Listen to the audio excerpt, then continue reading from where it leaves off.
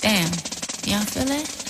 A message to all you pseudo spitters. The sound is cool, but the trend I see is the truth is missing. I feel the flow is stupid. You claim that the music's different. I guess it's all opinion, depending on who was listening. What's the word, y'all? This is KTR underscore podcast, No Rose Podcast. You are now live and direct with Cinco, Big Harp, and J-Bo himself. How y'all doing today? We are in person. you know, time. yeah, First first, time. time. all together. Yeah, It it's different. It is beautiful. Different. I don't like standing next to this man.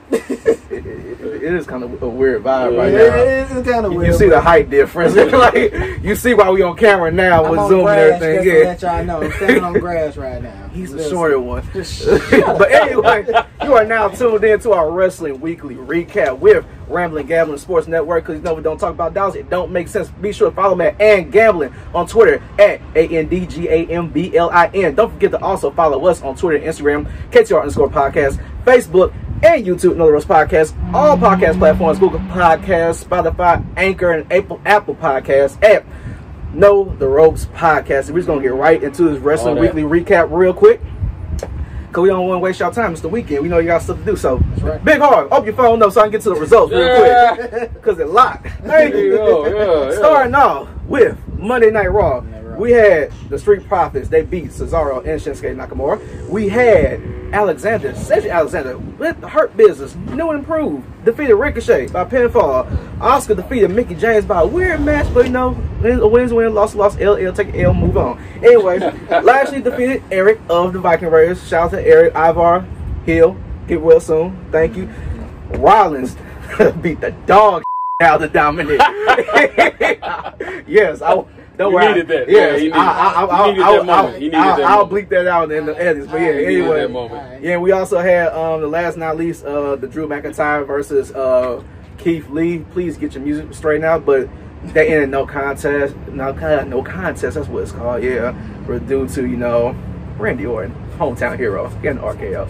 Anyway, moving on. SmackDown real quick. It was only four matches because you know SmackDown's no the more the entertainment show. It's my favorite show personally because I love microphone work, entertainment work, you know, promos, aspects, all you know, you name it. Just a more conti- a more concise show all around. Stuff, stuff that What are you sells tickets, you know, other Yeah. than just you know in ring wrestling. Like, you know. Better show. Anyway, so we had AJ Styles defeated Sami Zayn by pinfall clean. Nikki Cross defeated Lacey Evans with maybe a little help from Alexa Bliss, maybe, maybe not, who knows.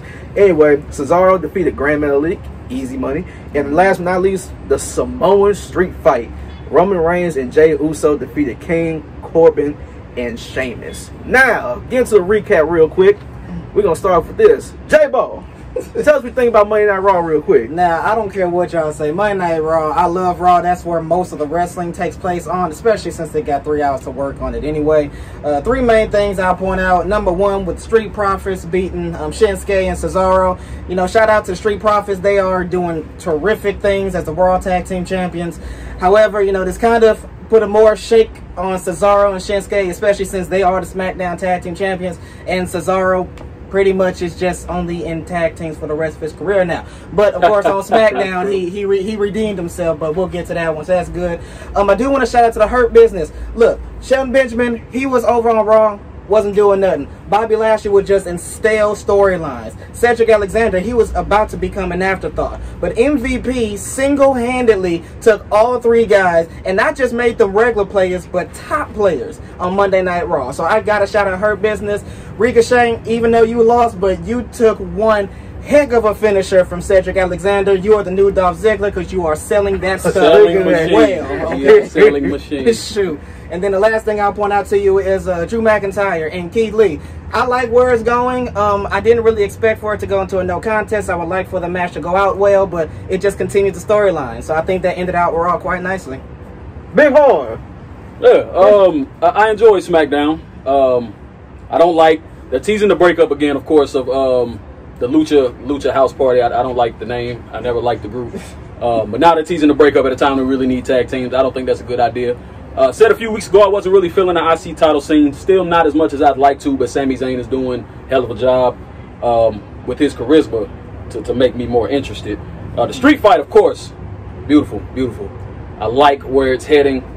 You already know how I feel. Roman Reigns is gonna dog walk his cousin. I consider Sam um, family, so one day y'all might get to see a preview, live preview, baby, live in an action of what's gonna happen. Now that's the entertainment side I want Um, to see. There you go. I like Unless unless Alexa Bliss um, becomes Sister Abigail, I'm really not. I, don't- I don't care much about what's going on there.